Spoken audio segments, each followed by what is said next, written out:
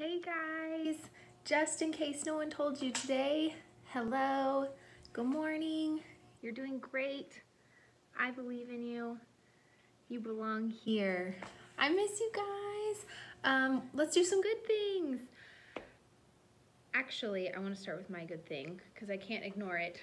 Check out my shirt. Um, so we got our shirts in and I'm going to be going up to school this Friday to put away all your things um, and try not to cry my eyes out, but I probably definitely will. Um, and in each of your bags, whenever you come to pick them up next week, you'll have your shirt. These are so special and awesome. So um, yeah, I just wanted to rock mine today so you guys could see it. I'm so excited um, and just so happy that we're all gonna get one. I'd love to see pictures of you wearing yours if you think about it. Um, all right, let's do some good things.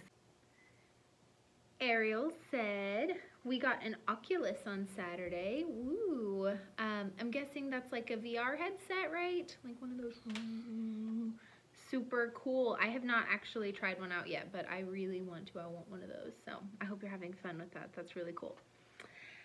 Zeta said, I am happy. Hmm, that's awesome, Zeta. I'm so glad you're happy. Haley said, I'm getting a new phone on the 22nd. Woohoo! Congrats, Haley. That's exciting and something to definitely look forward to. Monica said, me and my family have our own pool. Wow, that is amazing. I'm super jealous. I totally wish that I had a pool right now. I could just go hang out in. That's awesome. I hope you're having fun. Um, well, you guys, I love you so much. I miss you so much.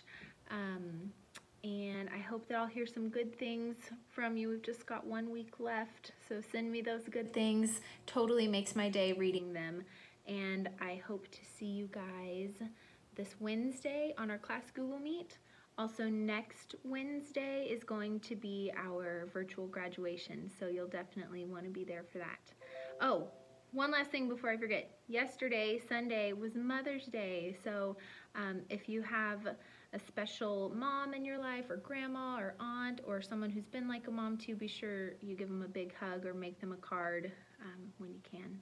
All right, guys, stay tuned after this video for a picture of Jack's puppy.